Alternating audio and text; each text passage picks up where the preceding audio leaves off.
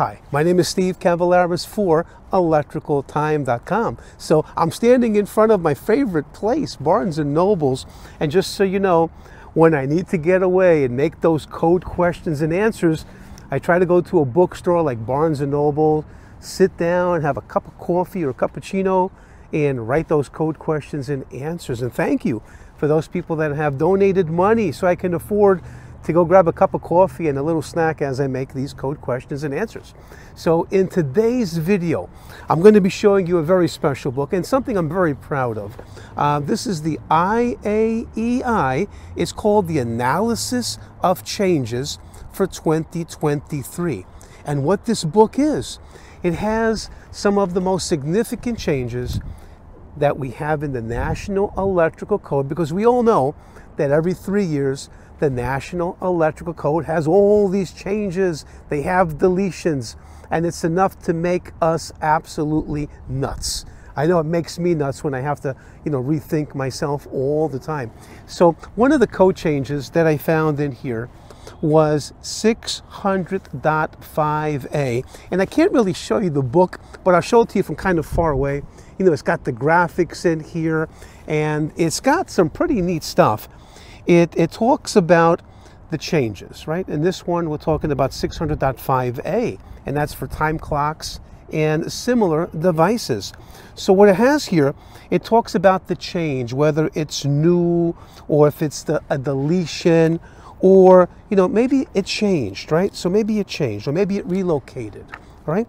Then it talks about the change itself. Then it talks about why it happened, and then it asks, you know, how will this affect the electrical industry? So it's got all kinds of great information in here. And you can get this book if you go to my website. Uh, I have the link, uh, which you can buy this off if it's an Amazon um, purchase.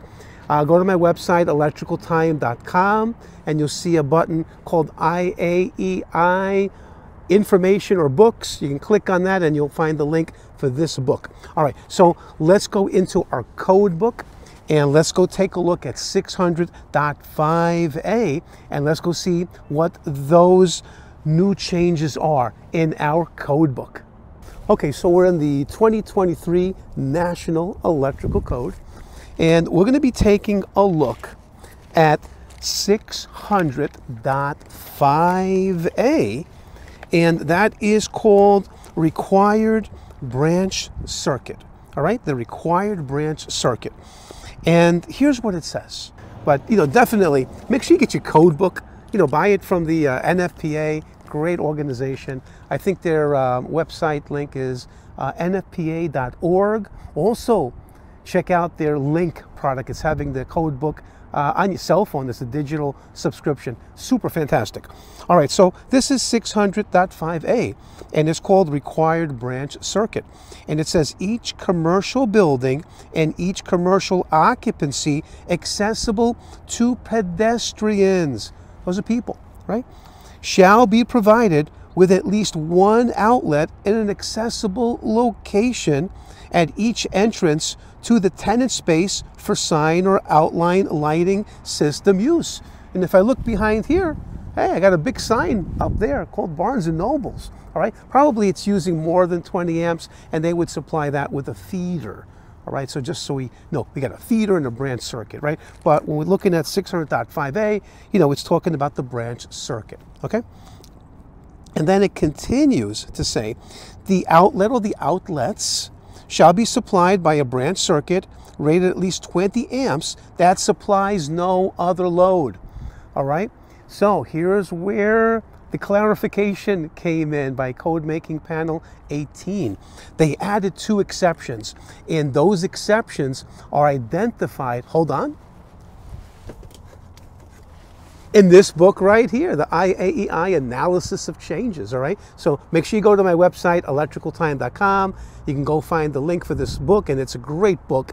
You really must have um, this book, and there'll be some other books that I'll be talking about in the future. Okay, so check this out. We got exception number one. It says a sign or outline lighting outlet shall not be required at entrances for deliveries service, conduct, service corridors or service hallways that are intended to be used only by service personnel or employees. All right, so there's some clarification right there. And then number two, exception number two, it says the required branch circuit shall be permitted to supply loads directly related to the control of the sign, such as electronic or electromechanical controllers. All right, so not only you know, does that branch circuit that says initially to supply no other loads, but let's say we got that timer, right? There's a little bit of a load in there. It might be using like one volt amp well, like 5 volt amps or 10 volt amps, but essentially it's a load. All right, it is using some type, some amount of wattage. So what this exception does, it says, hey, you know what? If you've got that branch circuit for the sign, it's a 20 amp branch circuit, and it says initially in 600.5a, it shall supply no other loads. That timer, even though it's a load, it's permitted to be allowed to be on that same load for the lighting. All right, so I hope you got something out of this video. Also, you know, I almost forgot about something. Uh, make sure you go to my website, electricaltime.com, and you can find that I'm, I, I do these free code questions and answers. So make sure you subscribe for my free NEC code questions and answers. And again, it's on my website, electricaltime.com. And guess what? It's free. All right. And uh, thanks for watching this video. And we will catch you on the next one. Thank you.